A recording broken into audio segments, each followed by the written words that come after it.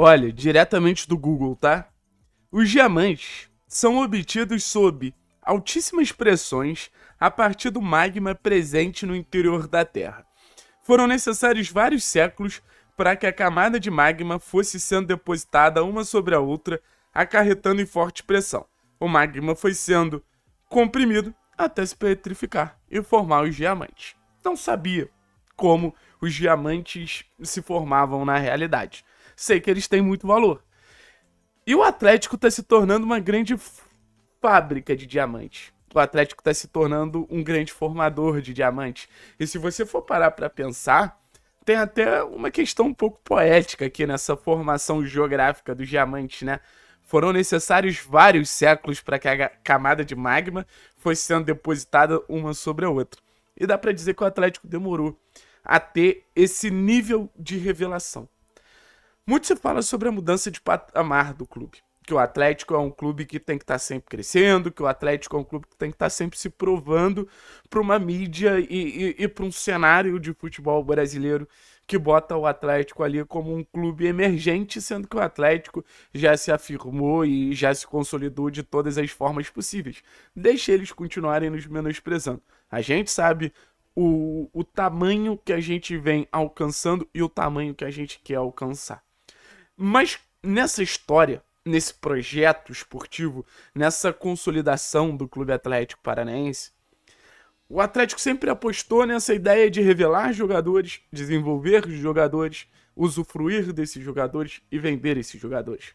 Desde o começo do século, com a venda do Lucas, o Atlético sempre foi é, ficou marcado ali como um bom vendedor.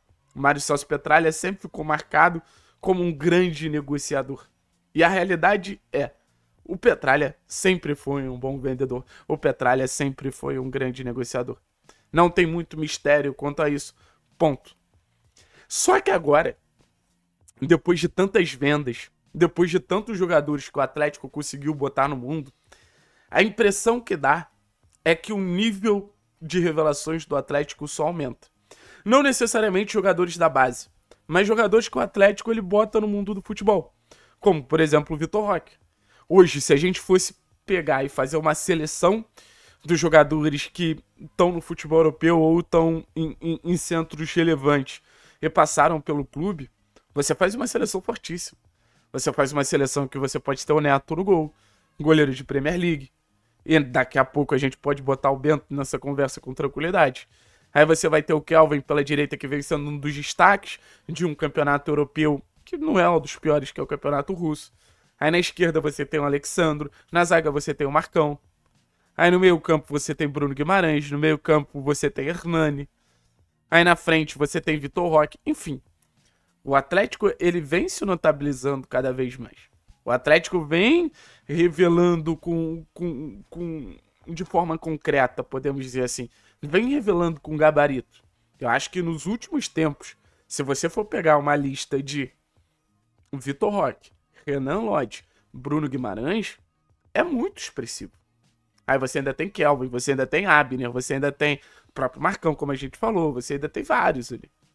O grande ponto é, parece que outra fornada tá saindo. Parece que outra leva tá saindo. Que daqui a pouco naturalmente vai estar tá no futebol europeu, que daqui a pouco naturalmente vai estar se destacando no melhor futebol do mundo.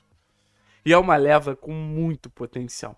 E é uma leva com muita força que ainda fazem parte desse time atual do Atlético.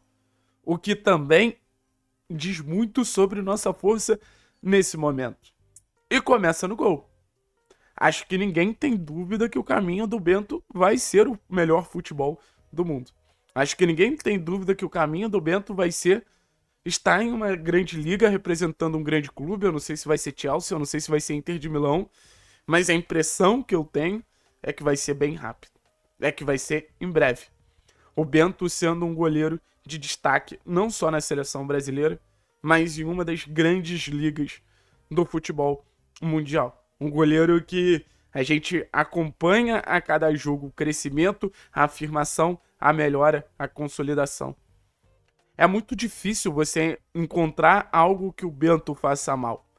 Isso porque a gente vem de um momento de oscilação do Bento. Mas mesmo assim, um goleiro de grande envergadura, um goleiro de muito bom um contra um, um goleiro de um posicionamento excelente, um goleiro de boa saída de bola, um goleiro de bom jogo aéreo. É um goleiro tem 24 anos, se eu não estou enganado. E mesmo assim tem tanta coisa positiva. É um goleiro de 24 anos que tem tanta coisa boa pra gente destacar. O que acaba sendo um prazer falar sobre o Bento. O Bento, além de toda a ligação que tem com o Clube Atlético Paranaense, é um é um jogador que eu acho que deixa uma relação muito forte com o clube, mas deixa ali também um sarrafo altíssimo para quem for substituir ele. A gente sabe que a gente tem substitutos do mais alto nível. Mas, cara, para chegar no nível do Bento, o Léo ainda precisa melhorar um pouco. O Mikael ainda precisa melhorar consideravelmente. E é algo que o Atlético vem revelando, ou vem é, botando em evidência goleiros de um nível muito alto. O Everton Santos. E o Bento consegue ser ainda melhor.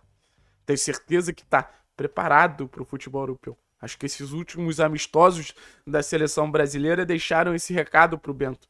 Bento, faz seu trabalho tranquilo no Atlético que você está sendo observado, mas Bento, você está preparado para jogar contra jogadores do mais alto nível, porque foi basicamente isso que ele fez contra a Inglaterra e contra a Espanha. Jogadores que representam essas seleções não são pouca coisa.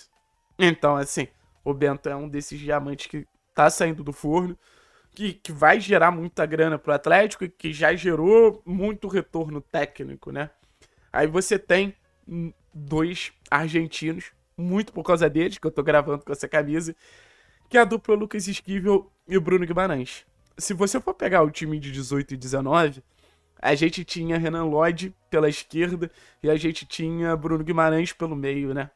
Lucas Esquivel e Bruno Zapelli, acho que eu falei Lucas Esquivel e Bruno Guimarães, mas Lucas Esquivel e Bruno Zapelli me fazem lembrar muito essa dupla. Características diferentes, estilo diferente, mas tenho certeza que o Atlético em breve vai estar tá mandando um, um, camisa 10 de muita capacidade, um meio-campista de muita capacidade e um outro grandioso lateral esquerdo para o futebol europeu. Vou até contar uma notícia de bastidores para vocês. Vocês sabem qual é um clube que já pediu até preferência quando o Atlético recebesse uma proposta por esses dois jogadores para contactar esse clube para que esse clube faça uma proposta? A Roma. Que não é pouca merda, tá? Se vocês começarem a diminuir a Roma, eu vou ficar puto aqui com vocês. Então, são três jogadores que estão, de alguma maneira, com o pé no futebol europeu.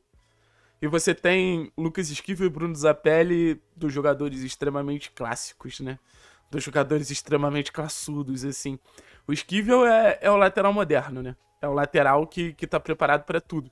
Se você precisa que ele seja um terceiro zagueiro, ele sabe ser um terceiro zagueiro. Se você precisa que ele seja um lateral numa linha de 4, ele sabe ser esse lateral na linha de 4. Se você precisa que ele jogue um pouquinho mais por dentro como um meia, ele sabe fazer isso porque tem muita qualidade no passe. Se você precisa que ele ataque o último terço como um ponto, ele sabe fazer isso também. A gente tá vendo esse lado mais ofensivo do Esquivel cada vez melhor, cada vez se sobressaindo mais. Então, um lateral que, que, que pode se adaptar à Premier League, pode se adaptar a, a Série A italiana, pode se adaptar à Bundesliga, tá tudo tranquilo. E acho que o Esquivel ele é muito suave para desempenhar o papel dele ali. O Esquivel é muito leve para fazer as coisas. Nada que o Esquivel faz parece que, que exige um grande esforço ali. Ele só faz. Ele faz muito bem.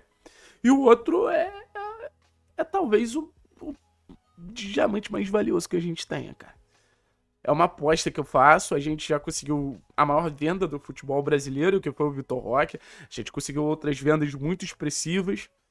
Mas, assim, tecnicamente, pelo menos a, a projeção que eu faço é de, de, de um nascimento de um camisa 10 que. Primeiro, que é uma posição muito rara. Não nasce um camisa 10 a todo momento. Mas a capacidade desse garoto de, de, de fazer diferente é, é o que mais me chama atenção, assim. Porque o diamante às vezes é isso, né? Você tem um anel muito bonito, você tem outro anel, mas o, o, o diamante ele diferencia. E acho que o Bruno, ele é esse cara que ele ele transforma a sua jogada numa jogada melhor, transforma a sua jogada numa jogada com mais valor toda vez que toca na bola. O Bruno Zapelli é impressionante. E, e ele é impressionante nos detalhes, assim. Ele é impressionante nos lances bonitos, nos dribles, nas enfiadas de bola, nas assistências, nos gols.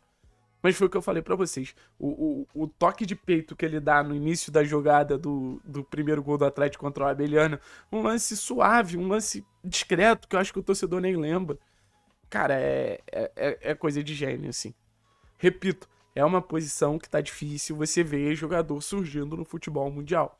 Ainda mais você vê jogador surgindo com esse talento, ainda você mais você vê jogador surgindo com essa capacidade. Então, é o, é o para mim o diamante mais valioso, pelo menos o diamante que eu vejo que, que em breve pode estar brilhando mais. Assim, tecnicamente acho impressionante, imprevisível, criativo, é, assim, diferenciado, tá começando a ser decisivo. Então, é, é difícil encontrar tanta qualidade, tantos adjetivos para definir um jogador. No final das contas, eu só sei que o Bruno Zapelli merece cada uma dessas palavrinhas. Valeu, pessoal. Tamo junto a nós.